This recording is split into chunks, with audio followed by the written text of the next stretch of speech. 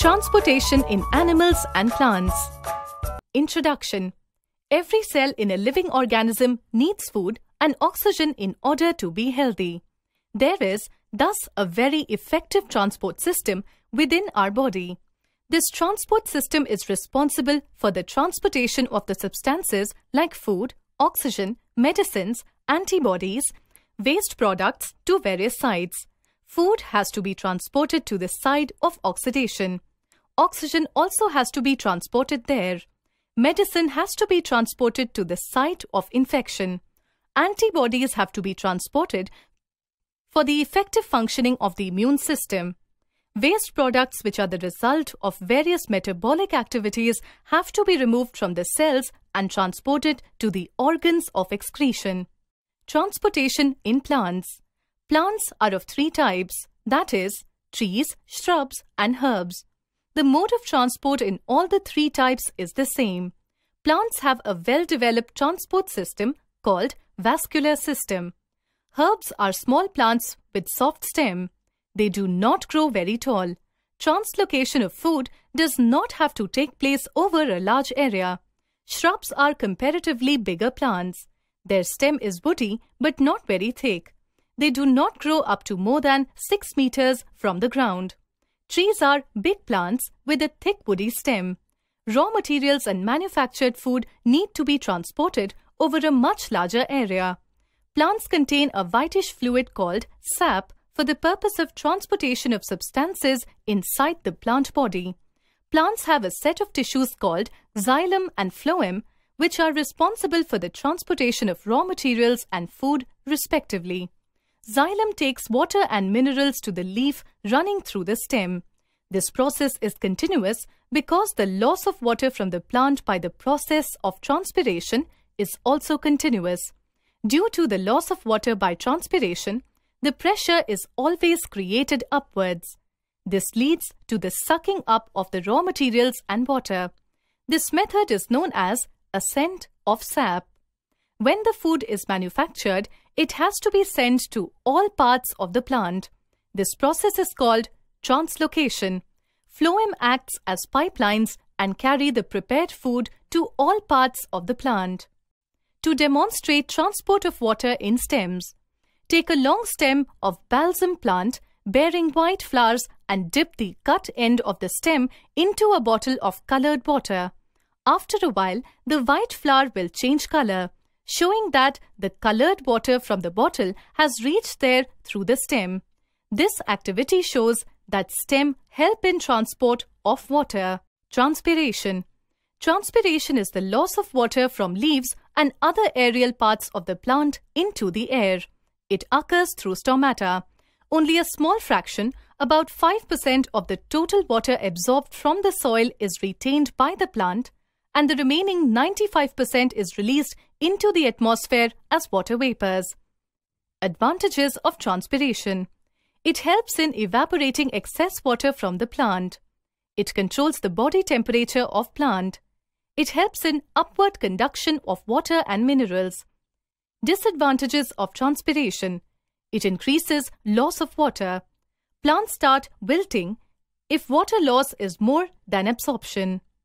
To demonstrate the evaporation of water, transpiration in plants. Take a well-watered potted plant having broad leaves. Cover the pot with a bell jar.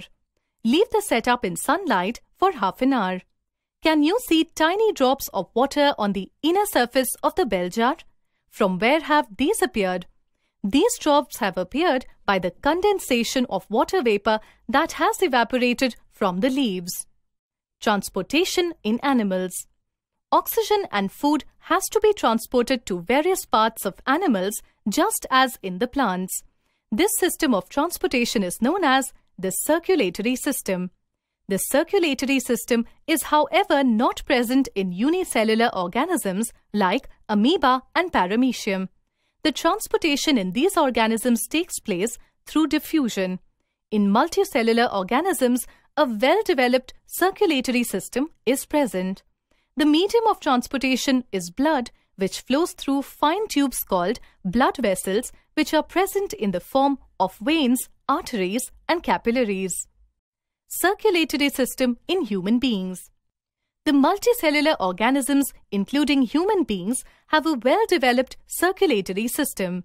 The main components of this organ system are heart, blood, blood vessels, which include veins, arteries, and blood capillaries. Blood carries things like digested food, oxygen, wastes to the various sites. The heart. The heart is muscular organ made up of cardiac muscles which is dark red in color. It pumps blood to every part of the body. The heart is divided into four chambers. The upper two chambers are auricles or atria. The lower two chambers are ventricles. The rhythmic and continuous contraction and relaxation of the heart is called heartbeat. Contraction of the heart is called systole and relaxation is called diastole. One systole and one diastole makes one cardiac cycle. The heartbeat of a person can be heard using an instrument called stethoscope. The average number of heartbeat in an adult is 72 times per minute under normal conditions. However, there are factors like anxiety and stress which might increase the heartbeat. A throbbing sensation is felt at any point where the artery comes close to the skin surface. The throbbing sensation is called pulse. The pulse of a person is the same as his heartbeat. The right auricle opens into the right ventricle and the left auricle into the left ventricle. The walls of the auricles are thinner than those of the ventricles. This is so because the auricles have to pump blood through the ventricles, which is nearby, but the ventricle have to pump blood to different parts of the body. Valves present between auricle and ventricles, as well as in the veins, prevent backflow of blood. The deoxygenated blood comes to the heart through the veins. It reaches the right auricle. From here, the blood is pumped into the right ventricle. It is the pulmonary artery which carries the blood to the lungs for getting oxygenated. The process of out-diffusion of carbon dioxide and in-diffusion of oxygen takes place in the lungs. Now, the oxygen-rich blood reaches the heart through the pulmonary vein. Oxygenated blood enters the left auricle. It is then pumped into left ventricle. The left ventricle, which pumps the oxygenated blood, to all parts of the body. Blood flow means simply the quantity of blood that passes through a given point in the circulations in a given period of time. Ordinarily, blood flow is expressed in millimeters per minute. The overall blood flow in the circulation of an adult person at rest is about 5000 milliliter per minute. This is called the cardiac output because this is the amount of blood pumped by the heart in a unit period of time. Place your palm on the left of your friend's chest. What do you feel? You will feel that the heart is beating with a regular rhythm. Now, place your ear at the same place. A distinct sound is heard, which is known as heartbeat. You can also measure the pulse of your friend. Place your index finger and middle finger on the underside of the wrist of your friend you can feel his artery throbbing. Count the number of throbs in one minute.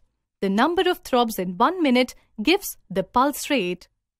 To make a model of stethoscope, take a funnel having a diameter of 6 to 7 centimeter. Fix a rubber tube about 50 centimeter long on the stem of the funnel and stretch a rubber sheet or a balloon on the mouth of the funnel. Fix it with a rubber band. Place the open end of the tube on one of your ears and mouth of the funnel on your chest near the heart. You can hear a thumping sound. These sounds are heartbeats. Blood. Blood is a fluid tissue. It has red blood cells, white blood cells, and platelets floating in a liquid which is called plasma. Plasma is a yellowish fluid and contains about 90% water. Plasma is a solution of minerals, waste products, digested food, enzymes, gases, blood proteins, and other substances. Blood cells and corpuscles are the living part of the blood. There are three kinds of blood corpuscles. Red blood cells, RBCs, appear to be like discs. The red color of the blood is due to hemoglobin. It is a protein present in RBCs. Hemoglobin combines with oxygen to give oxyhemoglobin, which helps in the transportation of oxygen. RBCs are produced in the bone marrow. Their lifespan is about 120 days. When red blood cells are delivered from the bone marrow into the circulatory system, they normally circulate an average of 120 days before being destroyed. Even though mature red cells do not have a nucleus and also have neither mitochondria or endoplasmic reticulum, they do still have cytoplasmic enzymes that are capable of burning glucose, forming small amounts of ATP. Anemia means a deficiency of red blood cells, which can be caused either by too rapid loss or too slow production of red blood cells. White blood cells, WBCs, are the defenders of the body. They defend the body against any kind of infections. There are different types of WBCs having different shapes and lifespan. The WBCs defend the body by either engulfing the disease causing microorganisms in the way quite similar to amoeba or fight by releasing certain substances. WBCs can easily change their shape and move on their own. This helps them in squeezing out of the blood and reaching any part of the body. Leukemia, uncontrolled production of white blood cells is caused by cancerous mutation of myelogenous or lymphogenous cells. This causes leukemia which is usually characterized by greatly increased numbers of abnormal white blood cells in the circulating bloods. Platelets are made in the bone marrow just like RBCs. They are much smaller in size and have a lifespan of about 10 days. The main function of platelets is to help in the clotting of blood when we are injured. If blood does not clot, we would bleed to death. Functions of blood it carries oxygen to various parts of the body. It carries digested food material to various parts of the body for absorption. Platelets in the blood help in preventing excessive bleeding by clotting the blood. It helps in maintaining a constant body temperature. It protects the body against germs. It transports waste materials to the excretory organs for excretion. Blood vessels. Blood vessels are of three types arteries, veins, and capillaries. Arteries carry blood from heart to various parts of the body. Arteries, veins. They have thick walls. They have thin walls. They carry blood away from the heart. They carry blood to the heart. They carry oxygenated blood. Pulmonary artery is an exception.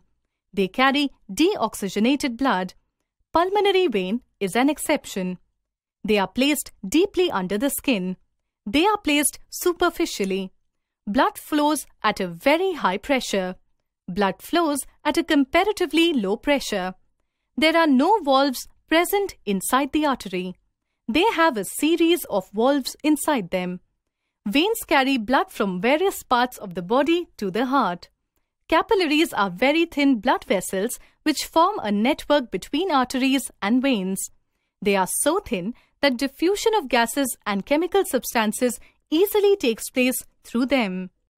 Blood transfusion. Blood is a vital component of our body.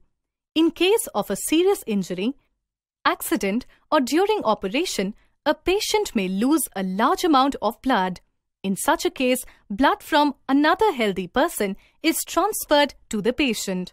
This is called blood transfusion. The process of blood transfusion involves a donor who donates blood and a recipient who takes blood.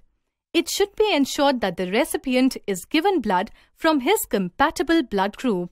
In case a mismatch occurs, the incoming blood will clump with the blood of the receiver, thereby causing death of the recipient. There are blood banks attached to the hospitals where different blood types are stored separately. Whenever a patient needs blood, it is obtained from these blood banks and is transfused into the patient's body. Blood pressure. Blood pressure means the force exerted by the blood against any unit area of the vessel wall. Blood pressure is measured in millimeters of mercury, mm of Hg. An instrument called sphygmomanometer measures it. Excretory system in human beings. The toxic or poisonous substances produced as a result of various biochemical processes taking place within the body have to be thrown out of the body from time to time.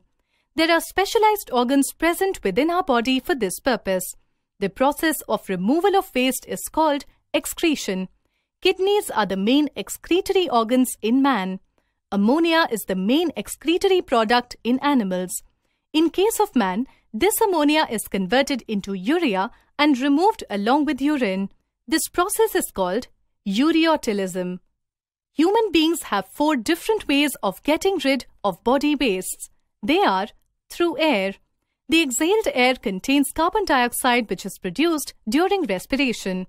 Through sweat, sweat has dissolved salts in it which are secreted by the sweat gland present under the skin. Sometimes in summers, white patches are formed on our clothes, especially in areas like underarms. These marks are left by salts present in the sweat through feces. The undigested food after digestion are excreted through the anus in the form of feces. Through the kidney, urea and uric acid formed inside the body are thrown out of the body in the form of urine, which is formed inside the kidney. Urea is formed by the combination of carbon dioxide and ammonia. Urea 2% with 95% water, 0.05% uric acid, 1.6% salts and minerals form urine which is excreted out of the body. Kidneys. Kidneys are the organs where excretory function takes place in which urine is the end product. Human excretory system comprises a pair of reddish bean-shaped organs called kidneys, two tubes called ureter, a urinary bladder to store urine, a urethra to throw away urine. Kidneys are made up of nephrons, which are the smallest functional unit of kidney. A normal human being excretes about 1 to 2 liters of urine every day. The urine consists of 95% water, 2.5% urea, 2.5% other waste products. Normal kidney function is essential for good health. If one kidney is damaged, the other kidney fulfills the excretory needs. But if both the kidneys are damaged, a person cannot survive because of the accumulation of toxic substances in the body. Therefore, the nitrogenous wastes are removed from the body by artificial kidney or the dialysis machine. The process of filtering blood and the removal of wastes by the machine is called dialysis.